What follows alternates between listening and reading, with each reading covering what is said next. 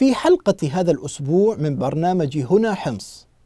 معتقلو سجن حمص المركزي والبند المنسي من هدنة الوعر. الموال السبعوي في أهازيج الثورة. مشاهدينا الكرام السلام عليكم ورحمة الله وبركاته.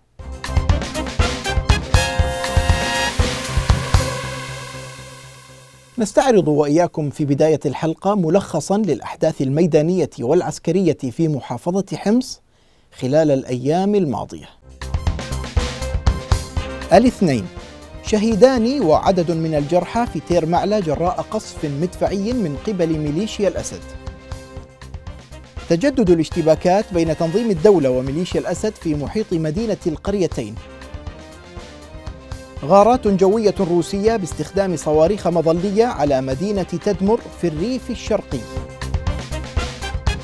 الثلاثاء ميليشيا الأسد تقصف بالمدفعية والرشاشات الثقيلة مدن وبلدات الرستن وغرناطة وعيون حسين وكيسين والسعن الأسود.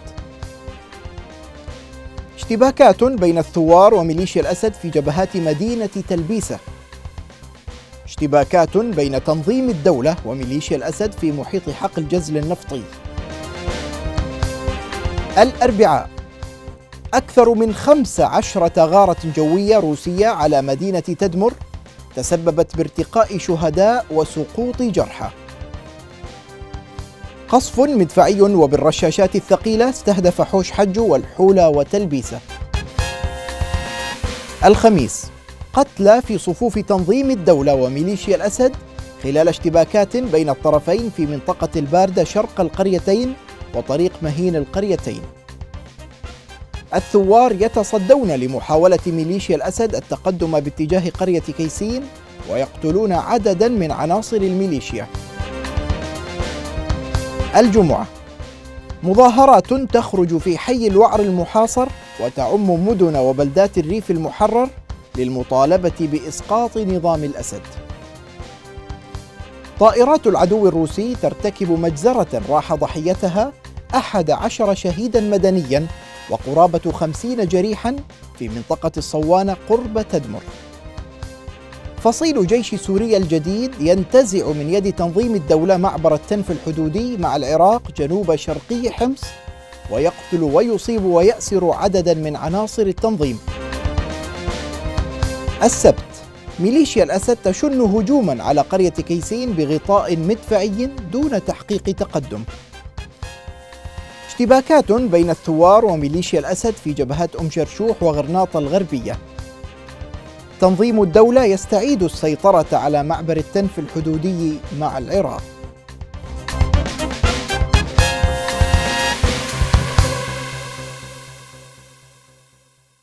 وقد بث ناشطون خلال الأيام الماضية مقاطع مصورة للأحداث الميدانية والعسكرية في محافظة حمص.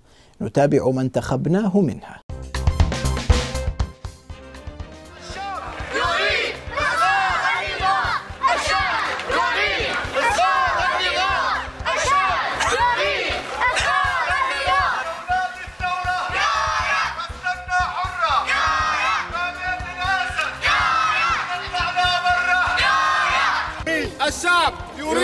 إخراج المعتقلين.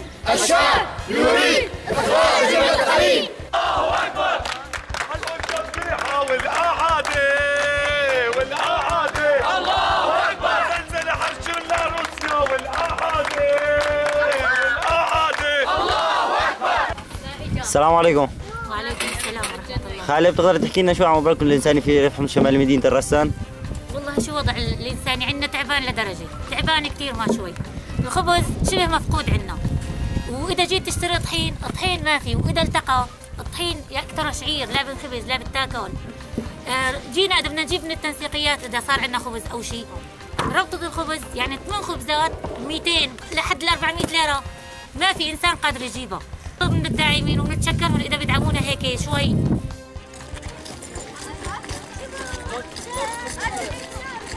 طلعنا طلعنا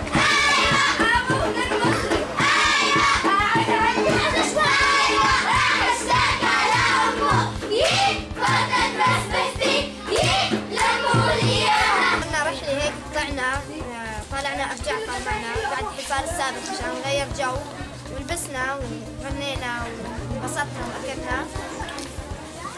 عملنا هيك شيء ترفيهي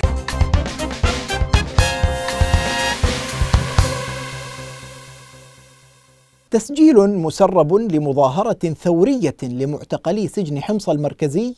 أعاد إلى دائرة الاهتمام وضع هؤلاء المعتقلين الذين يتعرضون لمساومات لقاء إخراج بعضهم لدفعهم للالتحاق في صفوف الميليشيا التشبيحية المسماة بالدفاع الوطني وسط إخلاف من ميليشيا الأسد في تنفيذ البند الخاص بالمعتقلين في هدنة حي الوعر الحمصي.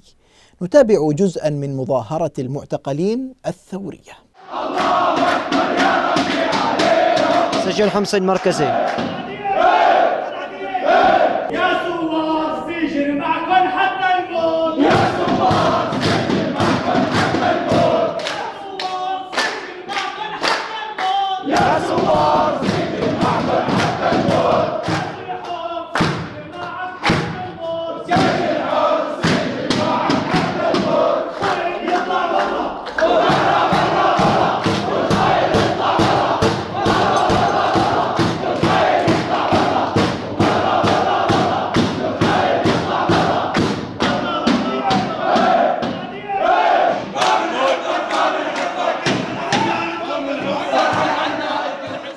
وللحديث في هذا الموضوع وغيره ينضم إلينا من حي الوعر في حمص مدير مركز حمص الإعلامي أسامة أبو زيد.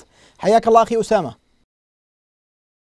حياك الله وبارك الله بك أخي الكريم أستاذ حياك محمد الله. أخي أسامة يعني هذا التسريب الذي شاهدناه قبل قليل لمظاهرة للمعتقلين في سجن حمص المركزي هل من معلومات حول دوافع هذا أو هذه المظاهرة؟ نعم أخي الكريم. آه، النظام بداية يحاول أن يسابق الزمن ويحقق مكاسب آه، سياسية وإعلامية من خلال أنه يقوم بالإفراج عن المعتقلين وأنه يقوم بالمفاوضات قبل بدء آه، المفاوضات على على مستوى دولي وأنه يقوم باستهداف بعض ال- ال- المناطق الصغيرة كحي الوعري آه، الذي تم الاتفاق به مؤخرا على آه، عن ال- الإفراج عن آه، مجموعة من آه، أو المعتقلين آه، من محافظة حمص بشكل كامل وقدمت آه، بحقهم آه، لوائح اسمية بلغت آه، للآن نحو 7350 آه، اسم. آه، النظام الآن بدأ يراوغ في هذا البند عند وصول وصول المفاوضات إلى هذا البند بدأ بالمراوغة.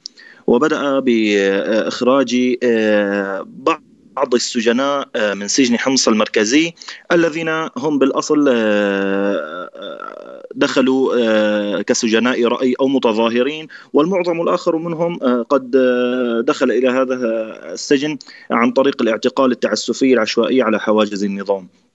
نعم. أما السجناء العسكريين فهم فهم غير موجودين. في سجن حمص المركزي. ومن أجل آه، أن يقوم أن يقول النظام أنه يفرج عن السجناء يقوم بالإفراج عن دفعات صغيرة فقط من- من- منهم. آه، ويقوم بإجراء آه، سب سياسي لهم وجلس- وجلسات تسوية وإلى آخره. وفي النهاية يقود يقود بعضهم إلى خد- خدمة الجيش الذين الذين فالبعض منهم لم لم لم في هذا الجانب أخي أسامة هناك حديث عن مساومات للمعتقلين في سجن حمص المركزي آه، يعني للالتحاق في آه، صفوف الميليشيات التشبيحية مثل الدفاع الوطني مقابل إطلاق سراحهم. ما دقة هذه المعلومات؟ نعم أستاذ محمد. آه، بداية النظام لم يوفر شباب حمص الذين لم يتورطون بالثورة ابدا في أحيائه. حيث يتم اعتقالهم بشكل مستمر على الحواجز وسوقهم مباشرة إلى الخدمة الإلزامية وإلى التطوع في آه، في جيشه وشبيحته وفي اللجان الشعبية الخاصة به. بالإضافة إلى أنه قام أيضا بالذهاب إلى المؤسسات الحكومية وسوق الموظفين أيضا وتطويعهم بشكل إجباري في مناطق استنفاذه لك- لكامل الطاقة البشرية المو- الموجودة لديه. فهل يستطيع النظام أو فهل يقوم النظام نعم. بتجنيد كل هؤلاء ال- الشباب والموظفين التابعين له ويوفر السجناء المتواجدين في في في السجون؟ طبعا لا. فالنظام الآن يقوم آه، بالإفراج ظاهريا عن عن هؤلاء السجناء وسوق معظمهم الذين ما زال ما زال عمرهم مناسبا للخدمة الإلزامية وللجيش بسوقهم مباشرة إلى ال- الحواجز وإلى الكتائب وإلى المناطق الحربية. نعم. بالعودة أخي أسامة إلى الحديث عن آه، هدنة الوعر التي تتضمن في أهم بنودها بندا يتعلق بملف المعتقلين. أين انحصر دور لجنة الأمم المتحدة في مراقبة تطبيق هذه البنود؟ نعم بداية قام كان دور اللجنة أو الأمم المتحدة بالإشراف فقط على آلية سير التفاوض ومتابعتها عن عن بعد فقط لا أكثر ولا أقل. واليوم وبعد بدء ال- الهدن على مستوى سوريا و- و- وإطلاق قرار وقف إطلاق النار في كامل الأراضي السورية آه، بدأ تهميش كبير لموضوع المفاوضات في حي الوعر من من قبل الأمم المتحدة حيث حيث أن آه، بات دور مقتصرا فقط على على ال- الأمر الذي يقومون به الآن وهو وقف إطلاق النار في كامل الأراضي السورية، وتم إهمال موضوع مفاوضات حي الوعر وموضوع الافراج عن المعتقلين، وهذا العامل أيضا قد أعطى النظام آه، قوة آه، من أجل المماطلة والمراوغة في بند المعتقلين حيث أنه الآن يقوم بلعب دور آه، أنه يريد الانتقال للمرحلة الثالثة من التفاوض آه، و- وإهمال بند المعتقلين أو التوقف عند بند المعتقلين والقفز من فوقه. آه، نعم. هذا ما وصلت إليه المفاوضات حتى الآن. نعم. في الجانب الإغاثي هل تصل إليكم في حي الوعر المحاصر المساعدات الإغاثية والطبية بعيدا عن آه، المرور عبر مؤسسات نظام الأسد؟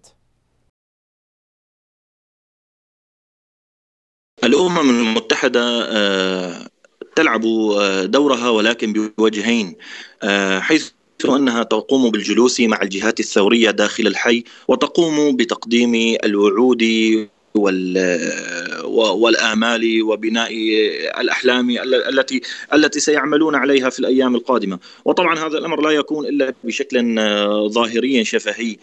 وبالمقابل عندما ين- تنتهي الاجتماعات داخل الحي فهم فهم في في شهر واحد يدخلون أربع مرات ومن خلال أربعة وفود وأربعة جهات من صليب أحمر واللجنة الدولية وال- والأمم المتحدة واليونيسيف وغيرها.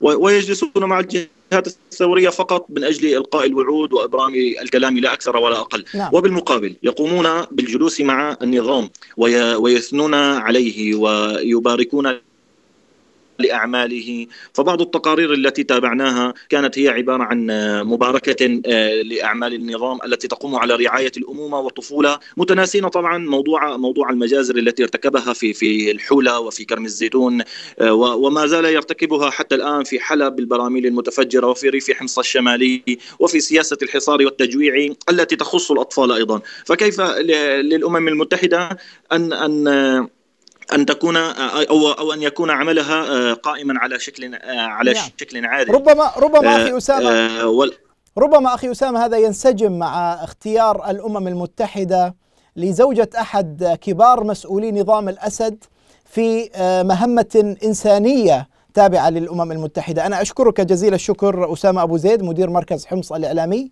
كنت معنا من حي الوعري في حمص.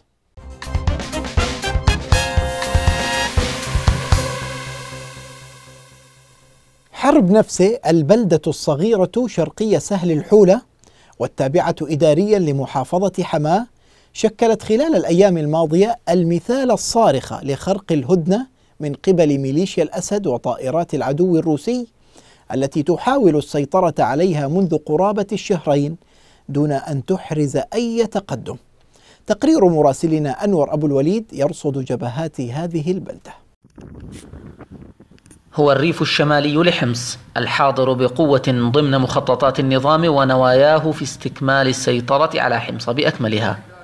أولى الغارات الروسية كانت من نصيبه ثم تبعها حملة برية استمرت لشهرين من محاور تير معلى والمحطة وسنيسل كان مصيرها فشل ذريع. قوات النظام انتقلت بعدها إلى محور آخر انطلاقا من ريف حماة الجنوبي باتجاه قرية حرب نفسه ذات الأهمية الاستراتيجية البالغة.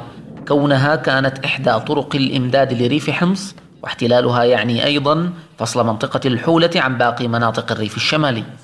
وبإذن الله سوف ندحر هذا النظام الفاجر ونخطط ونفشل جميع مخططاته في التقدم ومحاصرة الريف الشمالي لحمص. شهران من المعارك المستمرة حتى الآن. لم يغب فيهما لساعة محاولات التقدم والقصف الجوي الروسي حتى في أيام الهدنة التي شهدت القرية الصغيرة فيها تصعيدا عسكريا بارزا تمثل بعشرات الغارات رغم عدم تواجد تنظيم جبهة النصرة فيها مطلقا كما ادعت وسائل إعلام النظام.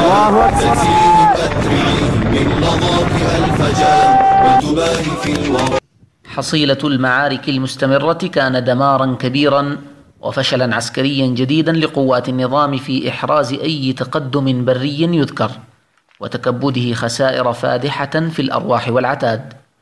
وإمساك كتائب الجيش الحر لزمام المبادرة في كثير من الأحيان. في مشهد بطولي يكتب تفاصيله أبناء المنطقة بدمائهم.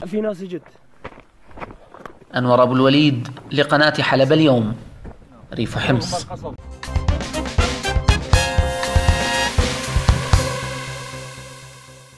لشعر الموال الشعبي حضور لا يجارى في حداء الثورة. تتنوع أغراضه ويلامس الأحاسيس والقلوب ويؤرخ اللحظات الإنسانية والوجدانية التي تزخر بها الثورة. لقاء خاص مع شاعر الموال بكري خوج بعد الفاصل. داب القلب داب القلب بنار البعد يا ناس وويلي ودارنا تبكي على سكانها وتصيح وويلي حمص العديات شيدت شبان بعمر الورد وويلي ذاب القلب بنار البعد يا ناس وويلي ودارنا تبكي على سكانها وتصيح وويلي حمص العدية شيدت شبان بعمر الورد. وويلي وويلي وويلي وويلي وويلي عفراقها شاب راسي وجسمي غدا مسلول والعرب لسيوفها غامضة وسيف الغرب مسلول. يا رب يا رب كرمال خالد أبو سليمان سيفك المسلول. أسمع صوت الأعادي تقول قاموا العرب واويلي. أرحب باسمكم مشاهدينا الكرام بشاعر الموال بكري خاوج أبو محمد من مدينة عمان. حياكم الله أستاذ بكري. حياكم الله أستاذ. آه، بداية ما هو شعر الموال؟ آه، أو ما يطلق عليه السبعاوي؟ وما قيمته؟ الموال هو السبعاوي أساسه البغدادي. فأطلقوا عليه السبعاوي لأنه من سبعة أشطار سبعة أشطار نعم. هو الموال أكثر من من سبعة أشطار ما بصير لأنه حددوه بسبعة أشطار سموه سبعاوي. وكان قديم يطلق عليه اسم البغدادي. نعم. يجسد قصة يجسد أي شيء إنسان بحسه كانوا يلخصوا يعني على ظرف الإنسان على ظروفه على الحالة اللي هو فيها. فيشرح الشيء عبارة عن موال. مثل ما كان في شعراء مثلا للشعر الطويل للشعر القصير يعني. نعم. صار السبعاوي وبيحكي قصة هي من بدايته لنهايته. نعم. عبارة عن ثلاث على قافيتين الموال يعني. حتى ناخذ أشطر قافي حتى نأخذ مثال آه، يعني حي للمشاهدين الكرام. حتى تتوضح صورة آه، الموال السبعاوي بشكل أكبر. آه، لديكم أحد الموالات بعنوان من قلب حوران. ممكن أن نستمع إليه. نعم. من قلب حوران صاح رجالها يا ولاد البلد سوري. نادت حمص لبيك ترى الدم يرخص لجل كل سوري. والدير قالت على ما الهدم سور المودة ديدا هدم سوري. ورجال الشام سرجت خيلها وسباع خرجت من حما. ورجال الشام سرجت خيلها وسباع خرجت من حما. وادلب كشرت عن نارها والشعبة قالت روحنا فدوة لأرض الحمى والساحل يشكر من وهب نفسه الجسر الشهور والجبال حما. والساحل يشكر من وهب نفسه الجسر الشهور والجبال حما؟ ولنك من صلبها قول بفخر أنا وأبي وأجدادي من نسل سوري. نعم. هاي سبعة اشهر هذه سبعة أشطر. طيب هذا نعم. هذا النمط من آه، آه، الموال. هل هو نعم. موهبة أم يمكن أن يعني أن من خلال الممارسة يمكن أن يعني ينبت هذه أو تنبت هذه النابتة لدى بعض المهتمين بهذا الشعر؟ والله شوف هو هلا أنا بكتب موال من عشقي للموال السبعاوي. بس من أكثر من 30 سنة أو 40 سنة لهالأيام اللي إحنا فيها يعني نوادر من يعني ما عاد حد كتب سبعاوي عرفت كيف أستاذ؟ نعم. ما عاد كتب الموال السبعاوي. يعني عم تتردد من أيام أول ما بلش السبعاوي الأستاذ صلاح فخري الأستاذ محمد خير رحمه الله. من بعدها ما عاد حد كتب سبعاوي لأنه السبعاوي صعب. قافيته صعبة. نعم. لأنه له شروط معينة وله قواعد معينة. الشعر العادي أسهل. طرقت العالم للشعر. السبعاوي ما حد كتب. أنا حبيت إنه أرجع أحيي الموال السبعاوي أكتب سبعاوي. وصار في قبول الحمد لله يعني والعالم كثير أخذت يعني منشدين ومطربين. يعني عجبهم هذا الشيء إنه عم نحيي التراث. موال السبعاوي تراثنا. نعم. نحن ربينا على الموال السبعاوي أستاذ. نعم. طيب هذا الموال السبعاوي هل يعني آه، لمحت نوع من ال ال آه، لنقل نوع من الانتعاش له من جديد في المظاهرات التي شهدتها ثورتنا السورية منذ بدايتها؟ هلا بالثورة آه، من بلشت الثورة كثير في عالم صارت يعني تألف شعر آه، تألف مواويل. يعني أغلب مثل إحنا الجو اللي كنا عايشين فيه أغلبهم بيسمعوا على الموال السبعاوي. يعني في نسبة كثير بتسمع على الموال السبعاوي. فصاروا بدأنا نكتب شعر اسمه موال سبعاوي. وبأثر الموال السبعاوي بالناس يعني. نعم. وصار يعني ومشي موال السبعاوي. بالثوره كثير عالم غنت للسبعاوي للثورة. اللي كان عن حمص عن حما عن حلب عن كل المدن السورية. قلت إن آه، بعض المنشدين يعني آه، أخذوا بعض آه، كتاباتك في الموال وأنشدوها. آه، نعم. هل تتخير المنشدين الذين يمكن أن يلحنوا وينشدوا موالاتك؟ أكيد اتخيل أنا لاني ساعة بلشت بدي أكتب الموال السبعاوي بلشت أكتب مشان احيي التراث يعني أنا ما غايتي مثلا فائدة. فأنا بدي شلون بدي احيي التراث بدي أدور على العالم وأعطيهم. وبعد بعدين في عالم صارت تسمع يعجبها تطلب. يعني أعطيت أنا من كبار يعني المطربين الحمد لله رب العالمين. أستاذ أحمد الأزرق أستاذ رضوان عودي أستاذ ماهر البحري سالم شمع آه، أبو عدنان الحوت آه، أبو ظافر آه، مفتاح. يعني في كثير أسامي أخذت وغنت معروفة عندنا بحمص وعلى مستوى سوريا. نعم. وهلا عاطي مطربين وبلشت اكتب الاغاني واخذوا اغاني يعني مع الموال السبعاوي. هي بصير اول شيء انت بدك تعرض شغلة انت بدك تعملها بدك تنشرها بدك تعرضها اول شيء. بعدين العالم تسمع بيعجبها بتروح على الكاتب انه اكتب لنا على الموضوع الفلاني بنكتب له. بدنا على الموضوع الفلاني بنكتب آه هو الموضوع اللي برأس المطرب مثلا نكتب عليه.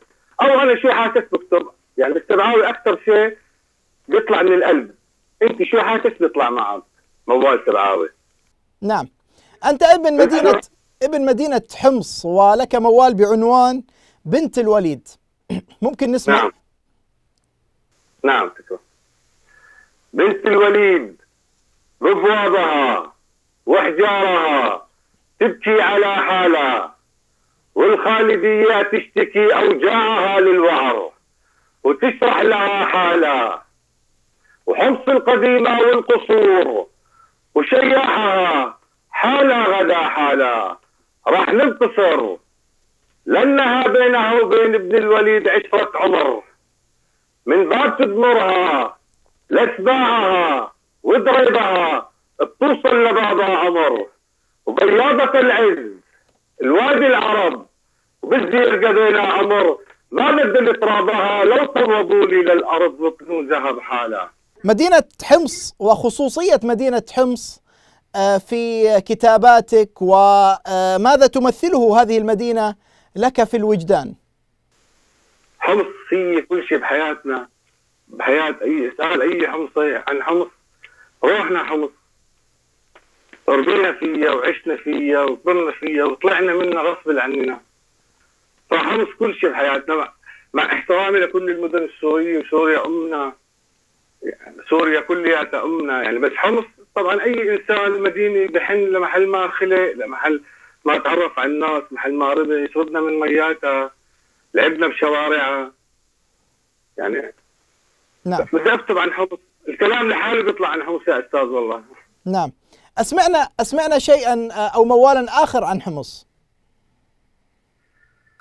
لفظح من رامي الحجاز بحزن. مع صوت نايا وعود عرض ريح طابها ممزوج بريحان. مسك وعود.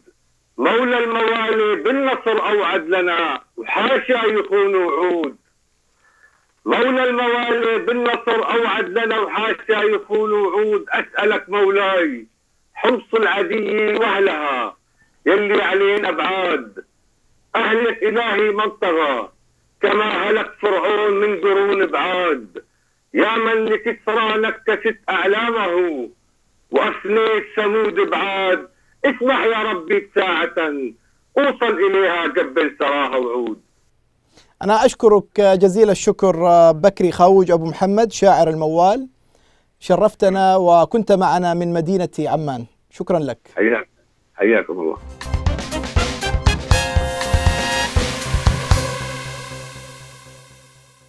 ختام هذه الحلقة من برنامج هنا حمص. على أمل اللقاء بكم مجددا في حلقة الأسبوع المقبل هذه تحية من فريق البرنامج. السلام عليكم ورحمة الله وبركاته.